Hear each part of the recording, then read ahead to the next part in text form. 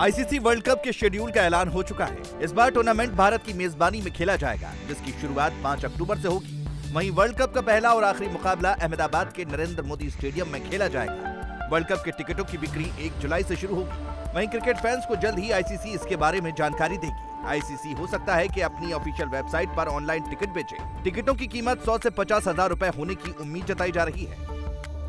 Team India के T captain Hardik Pandya को लेकर उन्नीस वर्ल्ड कप विजेता कप्तान कपिल देव ने बड़ी बात कही है। कपिल देव के मुताबिक हार्दिक पांड्या बहुत जल्द चोटिल हो जाते हैं और इसी वजह से उनको लेकर एक डर बना रहता है। टी वर्ल्ड कप 2022 में पाकिस्तान के खिलाफ मिली जीत के बाद आर अश्विन ने किया विराट कोहली पर बड़ा खुलासा। अश्विन ने वर्ल्ड कप की जीत को याद करते हुए बताया कि आखिरी गेंद पर जीत चाहिए थी तो दूसरे छोर पर विराट कोहली ने आँखों ही आँखों दिया था जीत का गुरुमंत्र अश्विन ने आगे बताया कि पाकिस्तान के खिलाफ विराट की पारी बेहद शानदार थी, और वो मैच अब तक के सबसे रोमांचक और यादगार मैचों में से एक था। पूर्व क्रिकेटर डब्ल्यू वी रमन ने चेतेश्वर पुजारा को लेकर दिया बड़ा बयान। डब्ल्यू वी रमन ने कहा कि पुजारा ने भारतीय क्रिकेट के लिए बहुत कुछ किया है। डब्ल्यूटीसी फाइनल में उनके खराब प्रदर्शन ने उन्हें टीम से बाहर कर दिया है। एनसीए में वेस्ट इंडीज दौरे की तैयारी कर रही है टीम इंडिया। कुलदीप यादव और चहल भी जुटे हैं दौरे की तैयारियों में।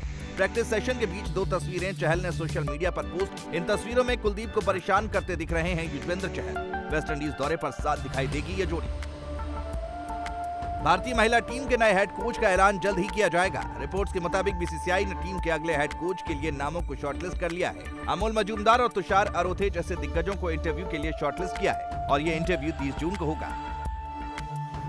भारतीय क्रिकेट टीम के mental conditioning coach Paddy Upton को एक और ज़िम्मेदारी मिल गई है। 2011 वर्ल्ड कप टीम के कोच रह चुके पैडी अपटन क्रिकेट टीम के बाद अब पैडी अपटन को भारतीय मेंस हॉकी टीम का मेंटल कंडीशनिंग कोच बनाया गया है। हॉकी इंडिया ने एशियन गेम से पहले अपटन को अपने साथ जोड़ा है।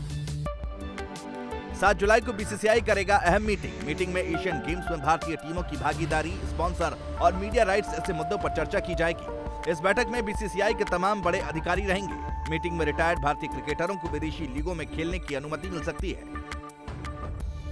सुरेश रैना ने महेंद्र सिंह धोनी को सबसे खतरनाक गेंदबाज बताया है। रैना बताते हैं कि धोनी तरह तरह की गेंदबाजी करने में माहिर है। रैना ने आगे बताया कि अगर धोनी को टेस्ट मैच में गेंदबाजी करने का मौका मिलता तो वो इस मौके को लेने के लिए तैयार रहते थे। और वो इंग्लैंड में गेंद को स्विंग कराने में सक्षम थे।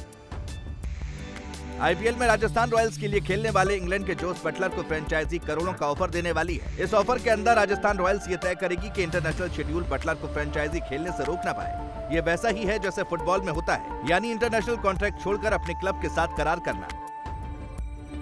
एशेज सीरीज़ खेल रहे ऑस्ट्रेलिया के स्कॉट बॉलैंड को मिली खुशखबरी। बीच एशेस के दौरान बिग बैश लीग टीम से मिला ऑफ़र।